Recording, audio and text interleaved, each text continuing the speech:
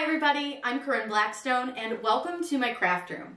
Before we get started, be sure that you are subscribed here on YouTube. It is totally free to subscribe and I would love to have you as part of my crafty family.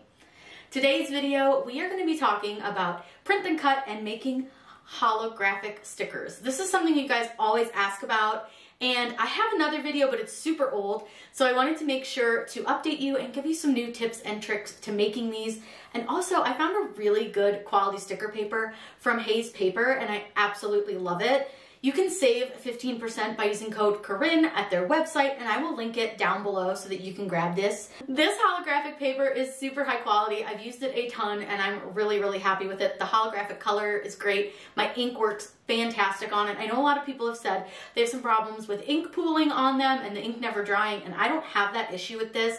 I use an Epson inkjet printer, and I've never had any issues with this, so I'm really excited to show you how to do this. We're gonna show you how to kind of fit everything on to your paper. And this is an A4 size paper, so I'm gonna show you how to use an A4 paper with the new print and cut sizing. And I'm gonna show you some little caveats that Cricut kind of messes up with this new size setting. So let's head over to Cricut Design Space and get started. Whatever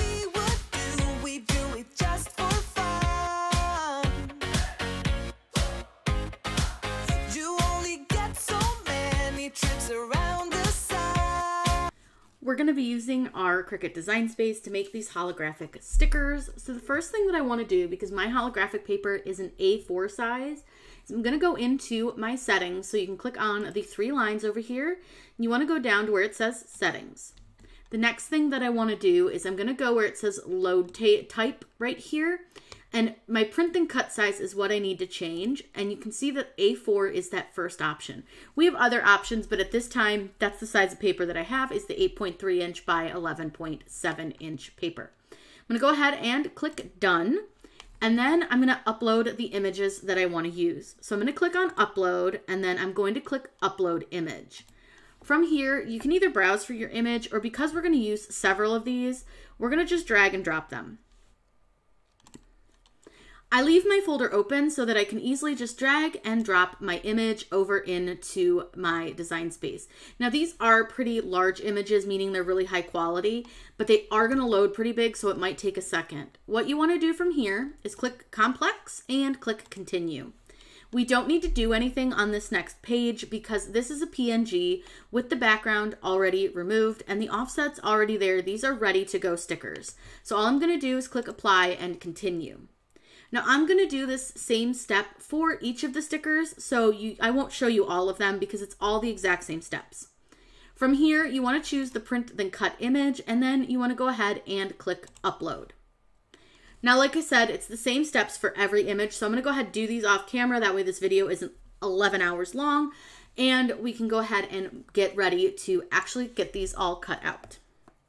Once you have all the designs that you want to use in your recent uploads, you can just click on each item that you want to put into your design space canvas and click add to canvas. Now this might take a moment because these are going to load pretty large. Once all of our stickers have loaded, you're going to notice that they are really big. Don't worry, we're going to resize them. But while they're really large, I want to show you something that is super helpful, especially when you're doing print and cut, because there are these red little exclamation points right here, and those are super important. If you click on that, it's going to tell you why that's there, which it says our image is too large. It's too large for our A4 paper, and it tells us what our um, maximum sized print then cut area is. And with an A4 paper, it is 6.71 by 10.63. So that's important to know. So if you don't know that off the top of your head, you can write it down. And what we're going to do first is I'm going to select all of our designs. So I'm just going to click select all and I'm just going to change all of their widths to five inches for now. That's going to just size everybody down much easier real quick and we'll resize them all again in just a minute. But before we do that, I'm going to go ahead and open up a template to use as our piece of paper. So what I'm going to do is use the shapes section and I'm just going to use a square. This is so simple. You can do this part completely for free and it's so helpful. Now what we want to do is in between where it says width and height, there's a little lock button. Click on that and it's going to open the lock, which means that we can change the scale of our square. So we know that we can print 6.71 wide by 10.63 high. So that is going to be our piece of paper, our printable area on our A4 paper. Now what we can do from here is to size our stickers so that they're going to fit within our printable area. But you'll notice that our stickers go behind our square. This is a super easy fix. Just click on your square, you want to um, right click on it, and you want to send it to the back. You'll notice over here in your layers panel that that square goes all the way down to the bottom. Now when you pull your stickers in, they go over your um, paper, over your square. Now what I'm going to do is size these down so that I'm pretty happy with the sizing and so that I can fit quite a few of them on my piece of paper. Now they're not all going to be sized exactly the same because you'll see like this one's very, very wide. So I'm probably going to make him not quite as tall as the other one. Now you want to leave a little bit of space between them. You don't have to leave a ton, but just a little bit of space between them is perfect. So all I'm going to do is just hand size these. You can do this however you want, but I prefer to just kind of size them based on where I can fit them on my sticker paper. So again, we have some that are gonna be quite a bit wider than others and some that are definitely skinnier and taller. Now I like to try to fit as many as I can on here, even if I'm gonna just make some funny sized ones.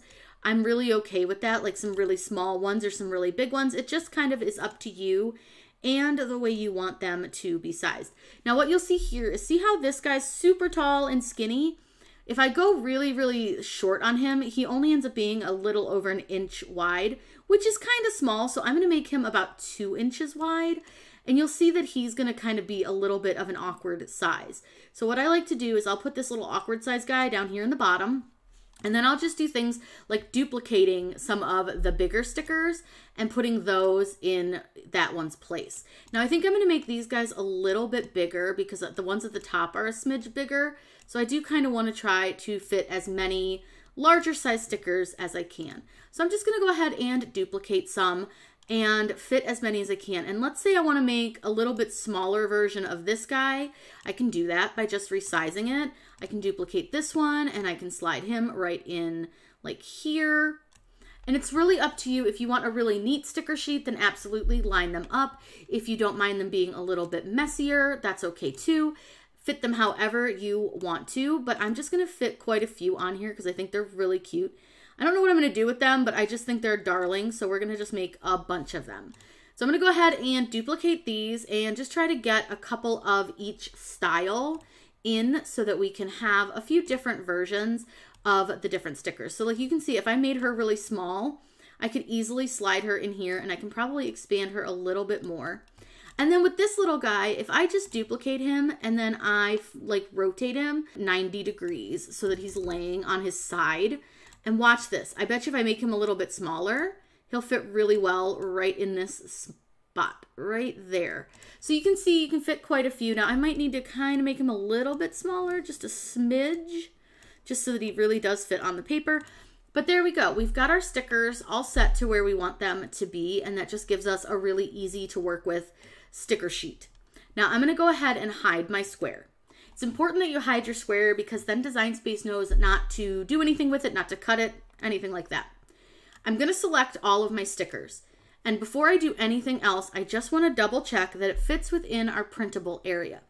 So right now we're at 6.625 by 10.63. So let's try and make this just a little bit bigger. Let's make this 10.62 and see if we can still fit it into our printable area, we can.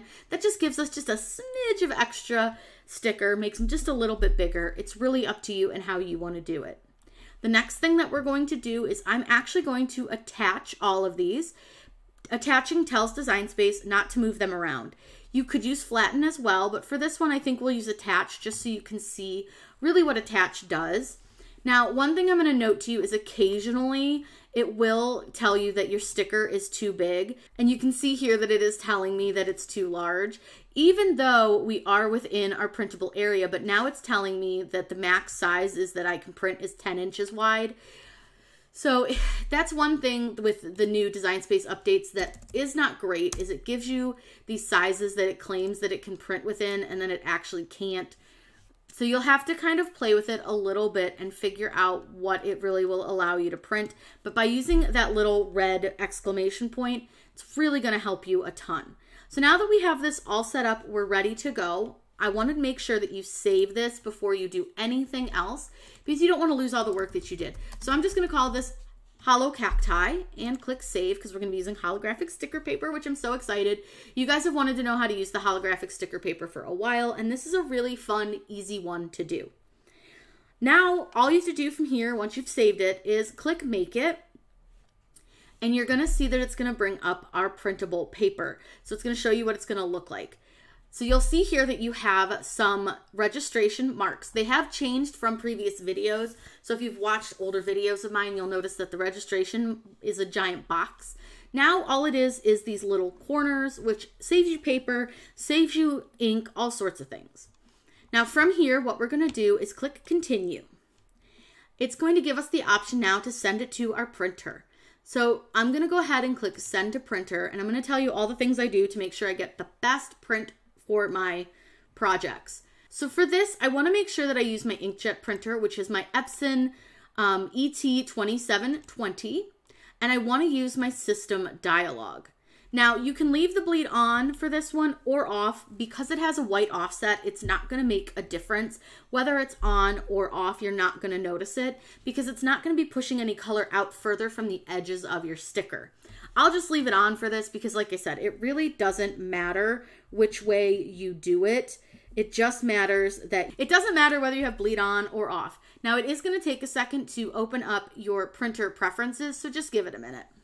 Once it opens your printer preferences, I want you to make sure you have your correct printer selected. So again, I need to go find my um, ET2720, and then I want to click on the word preferences. From here, I need to change my document size from 8.5 by 11 to the A4 paper size. And then I want to change right here for the paper type. I find that using the Premium Photo Paper Glossy works pretty well, but you'll want to kind of play around with your printer to find out which works best. Some printers put out more ink than others, and every printer is going to be a little bit different. I then change my quality from standard to high. I make sure that color is selected. The next thing we need to do is we're going to go to more options. And from here, I want to make sure that I turn off this high speed print option. It may also be listed as a bidirectional print depending on what printer you have. Go ahead and make sure that that is turned off. Click OK. We're going to load our holographic paper, get that printed out, and I'm going to show you how to cut it on your Cricut. Our holographic stickers printed, they're so pretty on this Hayes paper. I'll link everything that we're using down below. What you wanna do when you're doing print and cut is you wanna put your stickers onto your mat the direction that they're showing. So I always load my mat backwards, if that makes sense, so the top's always facing me, because I put my mat under my door and then I just have to work with a little bit of my paper or my vinyl or whatever I'm putting on.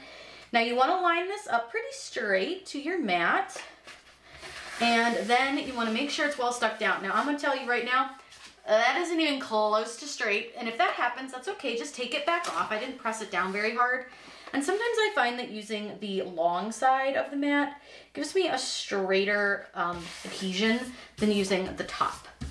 Now you wanna make sure that it's well held down. I am using kind of a less sticky green mat. Now I'm gonna go ahead and load this into my Cricut, again, making sure that it's the same direction that it's showing in Design Space. Now I know you've got kind of a glare from the lights. I, I get a lot of questions every time I do this. Well, my Cricut doesn't read the holographic paper, and I cannot tell you why mine never has a problem because it is incredibly bright in here.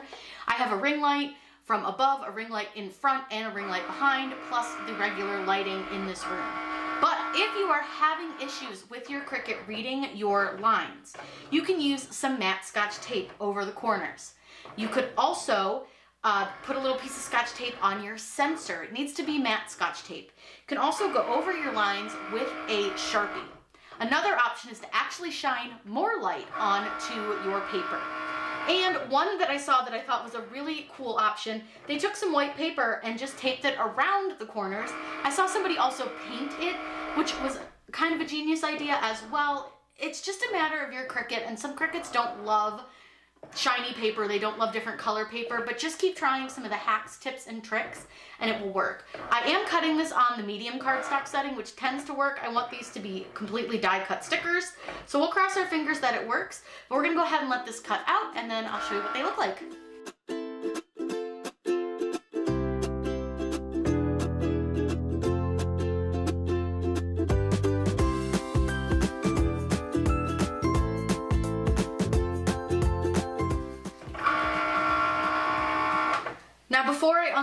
Will say that there was a little bit of an oopsie on the bottom one down here. I'm not sure why exactly, but it happens from time to time. And I think I do need to recalibrate my machine. It's been a while and it's cutting very much that direction, but it's fine. I will have to calibrate it. Now it didn't cut all the way through. So because it didn't cut all the way through, what I'm gonna do is not unload my mat. First thing I wanna do is I'm gonna pull my blade out really quick and just check it for any debris and gunk that might be on it because it definitely has a chunk of something on it. I'm gonna pull that off. Then we're gonna put the blade back in and we're not gonna unload our mat. I want you to just hit the Cricut button again. That's gonna allow it to cut in those same exact spaces. That way you're not like off center or anything. If you unload your mat, it's never gonna cut in the same place.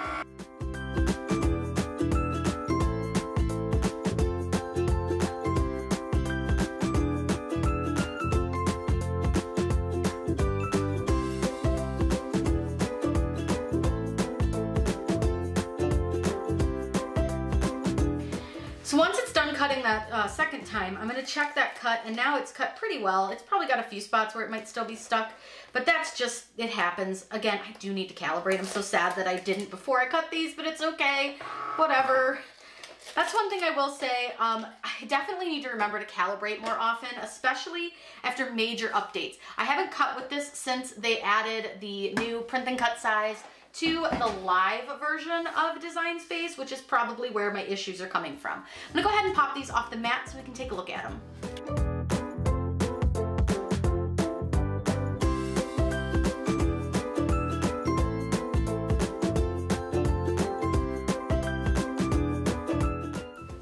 Messy calibration, they're so darn cute.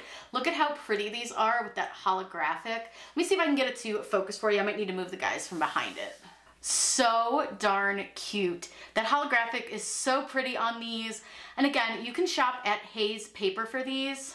I absolutely love how these came out. They're so cute, so pretty. And don't forget that you can always use code Corinne to save 15% over at Hayes Paper.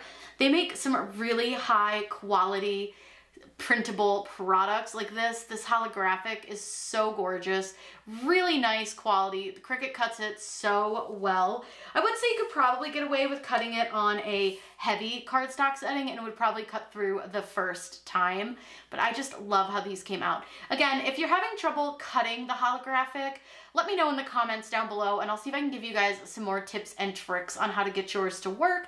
I've never really had too much of an issue cutting any of my different types of products. So if you are having issues, I'd be happy to give you some tips and tricks and see if we can get you working. I hope you guys had so much fun with this video. I know I did. It was really fun to make these little stickers. I will link everything that we used down below. These are so darn cute. They came out so adorable. If you guys have any questions, by all means, leave those in the comments down below. And I hope you all have a wonderful day. And as always, happy crafting.